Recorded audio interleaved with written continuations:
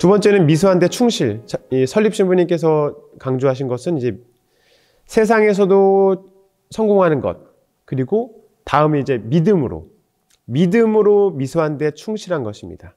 그러니까 신덕으로 본 점성 정신. 그러니까 미소한 일에 충실하게 하는 것으로서 하느님 눈에 들게 함으로 함이며 그분을 기쁘게 해드리는 것은 작은 일에 자기의 본분에 충실하면 된다. 그러니까 즉 양심부를 밝히면서 남이 보지 않는 곳에서도 충실하게 하는 것입니다. 음, 연관은 있는데 연관은 넘어가겠고요. 우리는 믿음으로 그저 평범한 일을 정성스럽게 하는 것을 연습해야 됩니다. 사회에서도 정성스럽게 하는 것이 에, 성공하는 비결이지만 우리는 믿음으로 하느님 예수 그리스도를 믿는 마음으로 평범한 일을 정성스럽게 하는 것을 연습해야 합니다. 그런데 이제 이 연습을 죽을 만큼 열심히 연습하지 않는 한 그것은 쉽게 얻어지지 않는 것 같습니다. 그래서 하느님 나라에 들어가는 관문은 좁은 문이라고 일컬어지는 것이겠죠. 아주 작은 일을 정성스럽게 합시다. 문을 여닫는 것부터 정성스럽게 해야 합니다. 어, 이거 하나만, 오늘부터 어, 문을 여닫는 거 하나만. 왜냐하면 우리 설립 신부님, 무아 방유룡 안드레아 신부님께서는 새로운 입회자가 오면 문을 여닫는 시범을 손수 보여주셨다고 해요. 그만큼 점성 정신이 중요하다는 것이 드러나는 거죠. 그래서 문을 조심스럽게 정성스럽게 여닫는 사람은 큰 일도 정성스럽게 하게 될 것입니다. 그러나 많은 이들이 뭐 저를 포함해서 많은 사람들이 문을 여닫을 때 하느님 사랑하는 마음으로 문을 여닫지 않고 딴 생각을 하면서 그냥 뭐, 뭐 우리 머릿속에 있는 생각들이 가득 차 있잖아요. 아, 아무 생각 없이 문을 열고 대충 열고 지나가 버리는 경우를 예, 종종 볼 수 있습니다. 별 생각 없이 문을 여닫는 거는 점성 정신이 없다고 할 수 있겠죠. 정성스럽게 문을 열지 않을 때 에, 설립신부님께서 많이 예, 실망하실 것 같습니다. 왜냐하면 당신께서 친히 보여주신 문 여닫기였는데 후배들이 잘 지키지 않는 걸 보면 예, 얼마나 가슴이 아플까 생각해 봅니다. 하느님 나라에 들어가는 건 정말 쉬운 일입니다. 문을 여닫는 거 정성스럽게 하면 이게 하느님 나라 들어가는 시작이고 또 수도 생활의 시작이라고 볼 수 있습니다. 음, 제가 실천하는 것들은 뭐 문을 여다는 것뿐만이 아니라 다른 것들도 있지만 그 미소한 작은 미소한 것들을 발견하고 정성스럽게 하는 이런 재미가 되게 쏠쏠한 것 같습니다. 작은 일에 정성을 다할 때 마음이 뭐 좀 많이 편, 평화롭게 되는 것 같습니다. 사실 매사에 정성스럽게 한다는 거, 미소한테 충실한다는 것은 매우 닮아 있습니다. 그러나 앞에서 다룬 정성스럽게 한다는 것은 일반적으로 세속적인 정신으로도 훌륭한 것이지만 신덕으로 본 점성 정신에서 미소한 데 충실한 것은 믿음 안에서 살아가는 이들이 키워내야 할 덕이라고 할 수 있겠습니다. 하느님을 믿는 마음으로 미소한 데 충실한 것입니다. 이 겨자씨 하나가 큰 나무가 되듯이 우리의 작은 믿음으로 작은 일을 충실하게 하면서 주님을 기쁘게 해드리려는 것을 보시고 하느님도 기뻐하실 것입니다.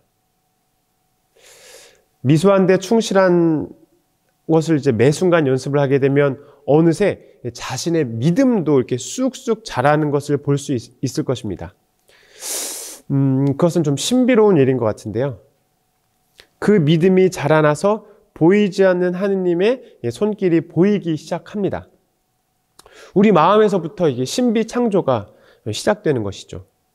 이는 미소한데 충실한 것을 실천하는 사람들에게만 보이는 것입니다. 어, 미소한데 충실한 것은 그 문을 여다는 것 뿐만이 아니라 뭐 제가 자주 강조하는 것은 슬리퍼 갈아 신는 거. 우리 수도에는 슬리퍼를 되게 자주 갈아 신는데 슬리퍼로 갈아 신는 거, 또 양치하는 거. 아무 생각 없이 양치하는 경우가 많잖아요. 또 어, 소파에 앉는 거. 정말로 사소한 것들을 또 아무것도 아닌 것들을 정성스럽게 예모답게 해내는 것이 중요합니다. 어, 많은 성인들이 하느님을 만나기 위해서는 과거나 미래보다 현재, 지금, 오늘에 집중하라고 강조합니다. 하느님을 만나려면 과거의 생각이나 미래에 빠져 있으면 안 됩니다. 그러나 저의 경우를 보면 대부분 쓸데없는 생각으로 가득 차 있는데요. 그 생각들은 과거의 상처나 미래의 그 쓸데없는 걱정들로 가득 차 있습니다. 미소한 일을 할 때 충실하지 못하게 되는 주된 이유는 그런 걱정들에 매여 있기 때문에 현재를 살아내지 못하게 되는 것 같습니다. 미소한데 충실하도록 노력합시다. 이것이 점성 정신의 핵심입니다. 왜 우리가 미소한 일에 충실해야 될까요? 그것은 우리의 믿음 때문입니다. 겨자씨만한 믿음이 큰 성과를 이루게 되고 어린이와 같은 천진한 믿음이 하느님 나라를 통과시켜줍니다. 동전 두 잎을 전부 드리는 그 믿음의 봉헌이 가장 큰 돈을 냈다고 인정을 받았습니다. 우리는 보잘 것 없는 우리 마음을 하느님께 전부 드려야 하겠습니다. 이 세 번째는 하느님 사랑하는 마음으로 라는 제목을 달아보았는데요. 비천하고 보잘 것 없는 일이라도 우리가 맡은 일을 하느님 사랑하는 마음으로 충실하게 하는 것이다. 무슨 일을 하든지 하느님과 친하면 일에 천하고 귀하고가 문제가 아니라 하느님과 친한 정도에 따라서 상급을 받게 되는 것이 성인이 되는 길이다. 라고 말씀하십니다. 신비롭게 주님을 만나기 위해서는 우리의 마음을 몽땅 다 드려야 하고 그 마음을 드리는 정도는 친밀함의 정도에 따라서 이제 다르게 됩니다. 사람들의 관계도 그렇지 않습니까? 친한 사람에게는 전부 다 드릴 수 있고 줄 수 있고 조금 친하지 않은 사람에게는 조금밖에 못 드리는 것, 못 주는 것처럼 우리도 하느님과 친하다면 우리가 모든 것을 줄 수 있게 되는 거죠. 우리와 하느님 사랑하는 정도가 강하면 서로의 마, 마음을 말하지 않아도 이심, 이심전심이 되는 거죠. 사랑하는 사람의 마음이 나의 마음이고 또 그가 원하는 것이 또 내가 원하는 것이 되는 거겠죠. 우리가 아무리 힘들어도 주님께서 기뻐하는 모습을 보게 되면 우리도 기쁠 수밖에 없을 것입니다. 이 비천하고 보잘 것 없는 일에 열매가 많고 또 그 열매들이 주님의 영광으로 돌아가는 것은 그야말로 신비라고 할 수밖에 없습니다. 근데 누가 그 보잘 것 없고 비천한 일을 기꺼이 하려고 할까요?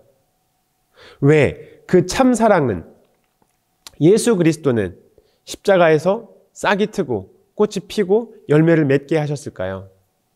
세상은 결코 알아들을 수 없고 알아듣고 싶어 하지도 않습니다. 세상은 참 사랑에 관심이 없고 십자가와는 거리가 더욱더 멀기 때문이죠. 그래서 우리는 매일매일 주님의 집에 살면서 주님의 말씀을 읽고 실천하면서 오직 주님만 바라고 사랑해야 합니다. 창설신부님은 이렇게 말씀을 하셨고요. 아, 근데 제가 자꾸 창설신부님 말씀과 또 설립신부님이랑 자꾸 용어를 혼동을 하고 있는데 설립신부님이라고 쓰도록 하겠습니다. 결국은 우리가 주님 말씀을 실천하고 실행해야 합니다. 주님의 말씀을 실천해야 내 마음이 주님의 마음과 하나가 되고 내 생각이 주님의 생각이 됩니다. 이보다 더 큰 행복이 또 있을까요? 우리가 주님의 말씀을 계속 실천하고 실행할 때 주님과 나는 이제 하나가 됩니다. 우리가 주님의 말씀을 듣고 실행할 때 실행하는 그만큼 우리 주님의 마음과 같아지는 거죠. 그래서 우리가 하느님의 말씀을 듣고 사는 그만큼 그분과 같아지는 것이며 그만큼 사랑할 수 있는 것이고 이렇게 우리가 하느님 안에서 사랑할 때 우리는 하느님을 사랑하는 마음으로 비천하고 보잘 것 없는 것을 충실하게 할 수 있게 됩니다. 네 번째는 점처럼 드러나지 않게. 설립신부님 이렇게 말씀하시죠. 우리는 이 점과 같이 남에게 보이지 않게 드러나지 않게 해야겠다. 가치 있게 살려면 자기를 드러내지 말아야 된다. 예수님은 내려가신다. 도무지 드러내지 않고 무에 계신다. 조용히 마음속으로 일러주신다. 이와 같이 점성적이 되자라고 말씀하셨습니다. 사실 점이라는 것은 보이지도 않는 좌표에 불과합니다. 눈에 보이는 점은 그저 우리를 위해서 표시한 거죠. 사실 없는 것과 마찬가지입니다. 그러한 점도 우리, 우리도 그러한 점처럼 보이지 않게, 드러나지 않게 해야 된다고 설립신부님은 강조하십니다. 근데 저 자신을 성찰해 봤을 때 교만하고 제가 허영심이 많아서 제 안에 조금만 자랑할 것이 생기게 되면 형제들에게 대놓고 이렇게 좀 자랑을 하거나 아니면 은근하게 자랑을 펼쳐놓는 경우가 많았던 것 같습니다. 설립신부님은 이러한 우리의 그 허영심을 알고 드러내지 말기를 원하시는 것 같습니다. 허영심에 대해서 좋은 길이 있는데요. 이거는 제가 교만, 권, 겸손, 권면, 뭐 분노 이것을 쓰신 브라가의 마르티누스 김현 신부님이랑 김현웅 신부님이 그, 그 옮겨 놓으신 책인데 너무 좋아서 좀 통째로 옮겨 보았습니다. 삶에서 그 추구하는 많은 것 가운데서 칭찬을 받는 것보다 더 기쁘게 하는 건 없, 없는 것 같습니다. 저의 경우는 뭐 확실하게 그런 것 같습니다. 누가 칭찬해주면 너무 기뻐가지고. 다른 것들은 얻고 나면 그것을 얻고자 하는 마음이 있으면 그것을 차지할 수 있습니다. 그러나 어, 그것이 무엇이든지 얻고 나면 시들해지기 마련인데 이 허영심, 칭찬 같은 것들은 들으면 들을수록 열망이 커지면 커질수록 이 칭찬받는 것이 더 큰 바람을 만들게 되는 것 같습니다. 다른 사람들이 자신을 유명 인사와 같이 존경하고 따를 때 기쁨이 커진다고 생각하는 것 같습니다. 그래서 소년들, 소년들은 청소년들을 흉내내고 또 청소년들은 젊은이들처럼 막 힘이 센 척을 하게 되죠. 젊은이들은 또 노인들의 지혜를 열망하게 되고 노인들은 또 살아갈 날보다는 지나온 자취의 발자취를 통해서 또 명성을 추구하게 됩니다.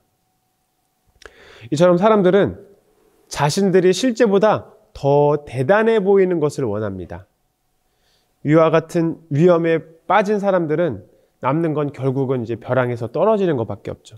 그들은 올라갈 곳이 더 없습니다.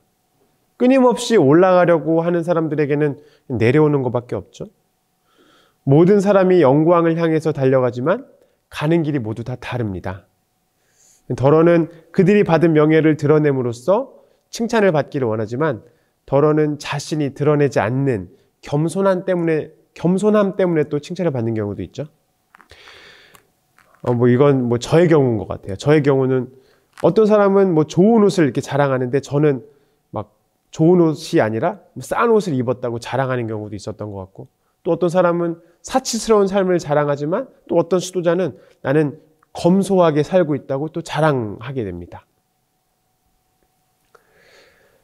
모든 사람은 자신의 명성을 알리려고 애쓰는 것 같습니다. 그런데 이 일은 선행인지 악행인지 좀 경계에 있기 때문에 나를 드러내는 허영심을 고치는 일은 아주 어려운 것 같습니다. 다른 사람들의 칭찬을 듣게 되면 이제 나 자신이 과대평가를 하고 자만심으로 우쭐해지기 마련입니다. 기쁨에 도취되어서 자신을 바르게 인지하기가 어렵죠. 저는 확실히 그렇습니다. 그러니까 저 자신이 알고 있는 것보다 저를 더 과대 평가하게 되는 것 같습니다. 그러므로 우리는 남의 아첨뿐만 아니라 자신에 대한 과대평가 때문에 저를 망치게 될 수 있습니다. 그러니까 누가 저한테 아 신부님 너무 영성이 뛰어나십니다. 사실 그런 아첨은 저를 망치게 되는 것이 아니라 저 스스로 그 말을 아 맞아 나는 뭐 영성이 뛰어나지 라고 저를 과대평가하게 되면 그게 망하는 비결이죠. 우리가 자기 자신을 정확히 알지 못하면 남들이 주어지는 평가, 나쁘든 좋든 그런 평가에 쉽게 흔들리게 되어 있습니다. 허영심이라는 것은 그 지난 날들, 을 들쳐서 자랑하게도 만들지만 또 앞으로 해야 할 일들에 대해서도 미리 자랑하게 만듭니다. 뭐 저의 경우는 예를 들어서 어 뭐 이번 연도에 뭐 어떤 일을 하게 되는데 그것을 막 미리 우리 형제들한테 아 나는 올해 뭐 어디 또뭐 강의하게 돼 있어. 아유 뭐 그런 걸또 나한테 맡기는지 몰라. 아유 근데 제 속에는 그런 강의를 한다는 어떤 그 허영심이 이제 가득 차 있었던 것이고 그것을 미리 막 그 허영심이 가득 찬 것들을 형제들에게 막 알리고 싶어서 그런 것들이 이제 삐져나오게 되는 것 같습니다. 전쟁터에 나가는 사람들도 무기를 들고 전쟁터로 향하는 군인은 뭐 어느 편이 이길지도 모르는 그런 불길한 상황에서도 허영심에서 비롯된 그 용맹함과 오만 그리고 승자가 된 것 같은 그 자만으로 가득 차서 전쟁터에 나가는 사람이 전쟁터에서 돌아올 때, 아, 개선하는 그 생각을 하게 되죠.